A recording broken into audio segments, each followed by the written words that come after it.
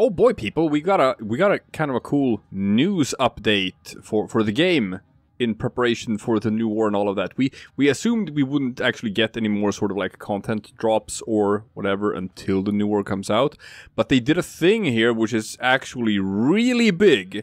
It's really big because they're going to do a thing that's going to allow you to get basically almost all uh, vaulted prime warframes.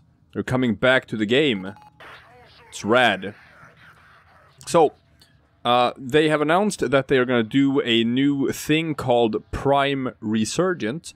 It's something they're testing to see if this can maybe replace the Prime Vault because the Prime Vault is getting bloated, or if it's something that can exist sort of like alongside the Prime Vault. We'll see. this is going to be a test, and they're going to take player feedback for what works and what doesn't uh, to figure out where they're going to go with it in the future.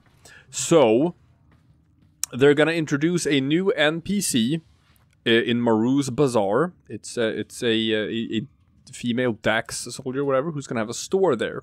And in her store, she is going to be selling um, relics with with vaulted primes, vaulted prime relics, uh, and you buy them with a resource called Aya. And according to the new sort of like just news infographic on their website, it says that you can find them like where where relics drop or it's a bit mysterious. If you go to the actual forum post where they talk about it some more uh, what they've said is that they drop from missions in the void from bounties and from relic packs so so that's the information we got right now for the three uh, sort of like ways of collecting this new resource.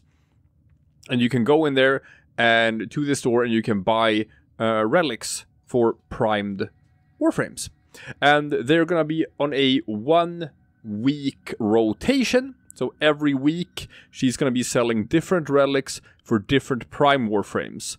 Uh, first up is Mag Prime and Nova Prime, which is exciting because Mag Prime is uh, the Prime Warframe that has been vaulted for the longest time. I think Mag Prime has been vaulted for like three years or something, and now you can get Mag Prime again. Isn't that rad? Isn't that cool? You can get Mag Prime, yeah. So they have a schedule up for uh, which weeks you can get different relics for different Warframes, and the final two weeks, it's gonna be like all of them, all of them, all of them. Um, there's also going to be another version of this currency called Regal Aya, which you can only buy for real money, exactly the same as platinum. And that is because with this resource, you will be able to buy uh, prime accessories that were part of those uh, vaulted warframes back in the day. So, since those prime accessories were only ever purchasable with money, you know, through through platinum, then uh, now they're still only gonna be purchasable for money for for like this regal aya. So that's that's cool, I guess. Uh, they're also going to be introducing back like the prime noggles that you get for for purchasing prime access that you're going to be able to buy these with regal aya as well uh, there's no way to farm for regal Aya in the game so that is that is purely a money thing uh, so if you want the prime accessories and the prime noggle stuff like that, then you'd have to spend money. Which is fine because that's how you always got those things. You always had to spend money to get those. Uh, but you can get a bunch of prime warframes that have been uh, locked away for a very long time. So this is going to start on November 16th and it's going to go on for like 2 months or so. So it's some sometime around like mid January is when this event is going to end and just don't stress yourself out over it because like you don't you don't have to open all of the relics right now. You can basically just spend these two months uh, hoarding relics for these vaulted warframes, and then you can just farm them at your leisure and just crack them open whenever you want to. Um, so, so what's going to happen here? Well, for one, I predict that the the marketplace for prime parts is gonna crash pretty hard thanks to this announcement. Um, Mag Prime just went from one of the most expensive primes to costing absolutely nothing at all. So, so that's that's fun.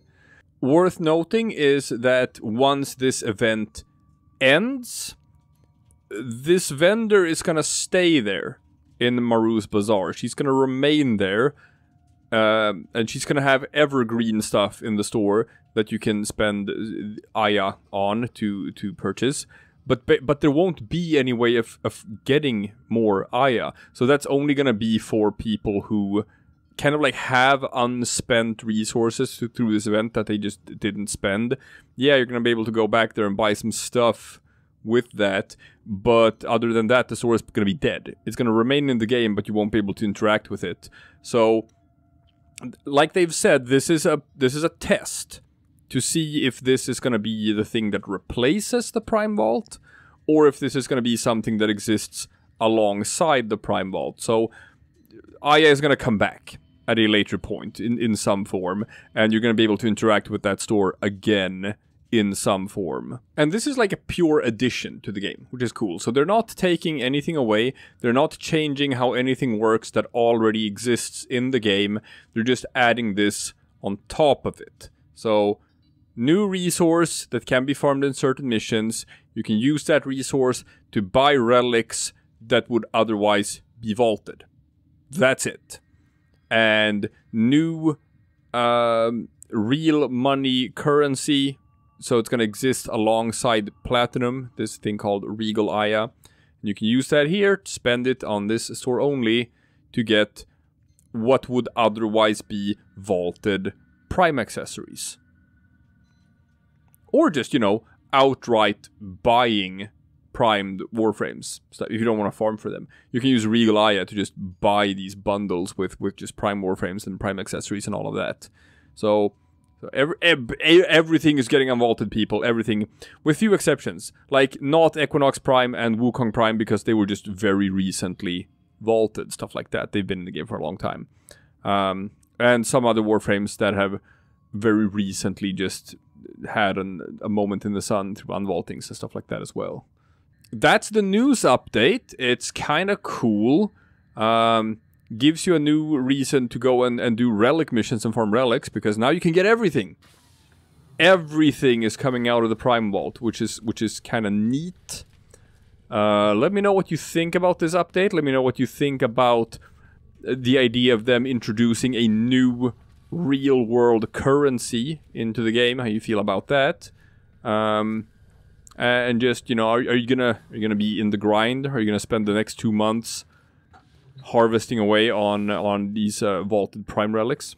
I saw one guy say that like, oof, a bit worrisome that they say that this is in preparation for the new war, and it's gonna run until mid-January. That's like, does that mean that new war is no longer gonna come out in December? I don't know. No, no, no. They they would probably say something in that case in, in an upcoming dev stream or whatnot. So far, the message from the devs have been the same, and that is New War is coming out in December. So we'll see.